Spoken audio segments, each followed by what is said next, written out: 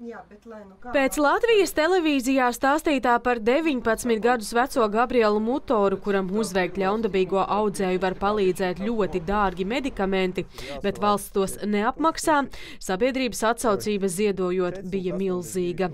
Arī Latvenergo ziedoja Gabrielam un citiem vēža pacientiem, taču ar to nepietiek. Vajadzīgā summa ir gandrīz 500 tūkstoši eiro. Līdz šim Gabrielam saziedoti vairāk nekā 284 tūkstoši eiro. Šodien jautājums par atbalstu tiem pacientiem, kuri neiekļaujas vienotā valsts atbalsta mehānismā, pārunāts saimā. Cik vēl ilgi cilvēki būs spiesti lūgt palīdzību visas sabiedrības priekšā, vaicā pacienti. Vai ir kaut kāds nu, tāds strateģiskais redzējums uz nākotni, kur mēs visi kopā varētu mērķiecīgi domāt, nu, kā panākt to, lai nu nav, lai tie individuālie gadījumi patiešām ir reti un ārkārtas. Šobrīd sanāk tā, ka to veselības budžets caurums lāpa sabiedrība, un mēs šobrīd atkal veidojot fondu, un vēl visu mēs atkal gribam uz sabiedrības pleciem, jo principi. Bet valsts šīs kapitāla sabiedrības nauda, tas ir, tas ir mūsu nauda. Tā nav kaut kāda mistiska. Jau ziņots, ka veselības ministrs rosinājis divkāršot individuālo kompensāciju onkoloģijas zālēm un ieviest pieminēto vēža fondu. Nav nevienas valsts pasaulē, kura ir spējīga no sava veselības budžeta apmaksāt pilnīgi katru individuālu gadījumu 100%. Tā faktiski nenotiek.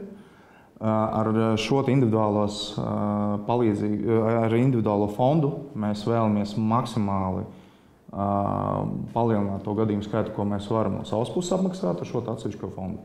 Mūsuprāt, nu, primāri svarīgi ir nosakt tos medikamentus, tos gadījumus, kur vispār šobrīd nav nosakti. Pacientu organizāciju pārstāvji atgādina, ka ieguldot cilvēka izārstēšanā valsts saņems atpakaļ, jo cilvēks varēs strādāt, maksāt nodokļus, dot pienesumu ekonomikai.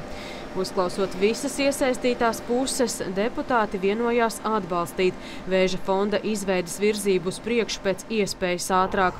Cik daudziem cilvēkiem varēs palīdzēt, vēl atkarīgs no budžeta sarunām, un prioritāte būšot valsts drošība.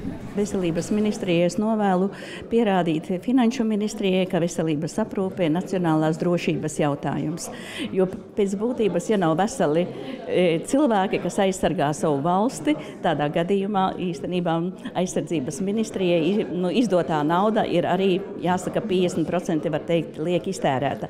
Tātad vesels cilvēks ir arī vesels, jāsaka, savas valsts patriots. Atgādināšu, ka Nacionālajā veselības dienestā tika rēķināts, lai nosaktu visu pacientu akūtās vajadzības un iekļautu kompensējamo zāļu sarakstā jaunus medikamentus, paplašinātu diagnožu loku un ieviestu citus uzlabojumus, papildus būtu nepieciešams nepieciešami vēl aptuveni 150 miljoni eiro. Vita Anstrete, Olafs Perševits, Latvijas televīzija.